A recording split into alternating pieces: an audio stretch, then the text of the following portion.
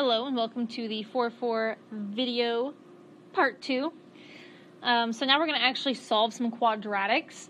Uh, if you remember from the, let's see, was the 4-6 quadratic formula problems, um, the, the uh, like matching time thing, and I discussed the difference between your real and imaginary numbers. Well, this is where it came. Um, but we hadn't quite done imaginary yet, so there we go what we're going to do is start by solving normally. You know how to solve this. Let's start by subtracting 100.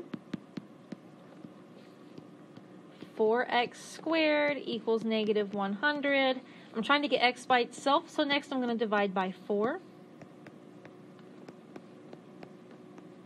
And now to get x by itself, I'm going to do the square root, and I find that I have an issue. x equals I have this negative. So kind of like I did above, I'm going to divide this to be that negative 1 and the 25. And the good news is 25 actually is one of my square numbers. So this is going to be I, oh, hang on a second, 25. Couldn't that have been a positive or negative 5? Right? Because negative 5 squared is a positive 25, but positive 5 squared is positive 25? So my answer is going to be x equals the positive or negative 5i. Let's try another. Subtract 4. x squared equals negative 4 if I go to do the square root. Let's see, that's going to be a negative 1 and a 4. So that's going to be i. And 4, the square root of 4 is a positive or negative 2. So my answer is x equals the positive negative 2i. Just like that.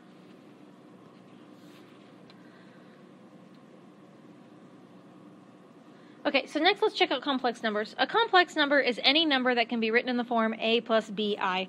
a is going to be a real number, so like 5, whereas the bi is going to be that imaginary number, um, all of my answers up here were those imaginary number pieces. So, um, A is going to be called the real part, B is going to be called the Im- imaginary part. We can solve equations, and here's what you need to know. Maybe I'm going to write this. Set real equal to real.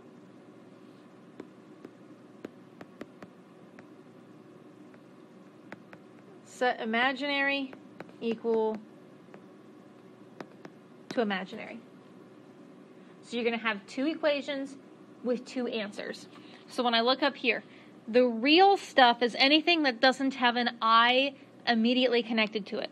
So when I look at what has an i, this i is multiplying the parentheses. So that's the imaginary stuff. Okay, more imaginary stuff right there. And then here is the the real then. So make two equations from that. 5x plus 1 equals 2x minus 2. You can solve that. That's super easy. Minus 2x minus 2x, 3x. Uh, I'm going to go ahead and subtract 1 while I'm at it. Equals negative 3. x equals negative 1. And now I'm going to go ahead and do the imaginary part. 3 plus 2y parentheses i equals y minus 6 parentheses i. And so what I notice on the imaginary part is if I divide by i to try and get it to cancel away, it's going to cancel off of both sides, and now I'm just left with plain boring numbers and variables that should be pretty easy to solve.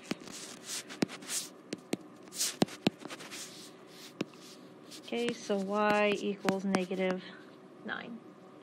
Both of these are your answers. They both count. All right, and we'll do two more examples and then we'll pause this video for here. So next what we're going to check out is adding and subtracting these. Um, basically, treat i like an x. And what that means is, you know, when we multiplied them, you turned it into a squared, or basically combining like terms. So if I have two parentheses being added together, then the parentheses are actually kind of useless, right? So what I really have is negative 2 plus 5i plus 1 minus 7i. It's saying I have this complex number being added to this complex number. That's what they're doing. And now add the thing, add like terms. That's all you're doing is adding like terms. So negative 2 plus 1 is negative 1. And 5i minus 7i is negative 2i. Notice again, with complex numbers, I write that in the form a plus bi. So it's the uh, regular number and then the imaginary number, the real number and then the imaginary number. When it comes to subtracting, really it's the same. The only catch is that um, you know you might distribute the negative sign to remember that you're subtracting. Um, so it's like I'm distributing a negative one. It's going to be a positive 1, and then a negative 2i. So what I have now is 4 plus 6i plus 1 minus 2i. Combine like terms.